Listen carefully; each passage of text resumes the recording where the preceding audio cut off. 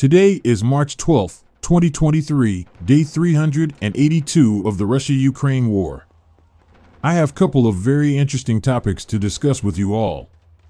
Let's go to Bakhmut first. Now you all have noticed that Ukrainians have managed to stop Russian advance at this two direction. So to counter this Wagner's came up with ambitious but very good plan, that is to take this whole part into artificial encirclement. This will be done by this canal that runs between Bakhmut and Chasiv Yar.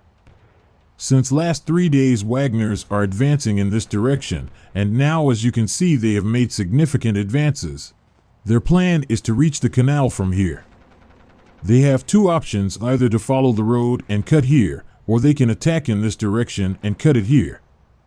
And I think later is the preferred option because it is relatively close and has open fields. This is confirmed because they are attacking Orikhovo Vasylivka now. Some sources say that Wagner's managed to capture it, but it's not true. Now as they reach the canal there, they will increase their pressure around Ivanivsk and push towards the road and reach the canal and cut it physically. Now see heights of Chasiv Yar will play big part, and also after the withdrawal, all the Ukrainian unit are located here, and because of this they were able to stop Russian advance. To say it would be a difficult task to complete would be an understatement. And also on this northern flank, yesterday there was a report that Ukrainians are using Su-25 and MiG-29 very heavily here. By this we can say Ukrainians are also aware of this plan. This is such a good plan, but in my opinion, if this would have happened a week ago, then Bakhmut would have already fallen. So now another topic is that currently many sources are claiming that Ukraine is about to launch counteroffensive in Bakhmut. Their plan is to push Wagner's out and unblock critical roads and gain advantageous position in city. See guys, this can be done because currently deployment of elite Ukrainian units around Bakhmut has increased significantly.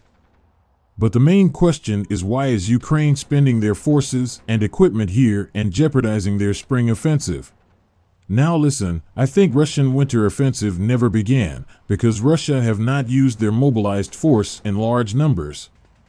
Reason behind this could be that they want to use them in Ukrainian counteroffensive, and after the Ukrainian offensive ends, Russia will launch their own offensive and gain very very large amount of territory and can possibly end this war. Please note that this is just my personal opinion. And another thing I want to discuss is if NATO countries ever want to send personnel in this war. Ukrainian forces that are trained by NATO will give them accurate data whether their style of war will work against Russia or not in this offensive. I am not saying they will, but if they are thinking then this will give them a better idea. Let me know your thoughts in the comments down below.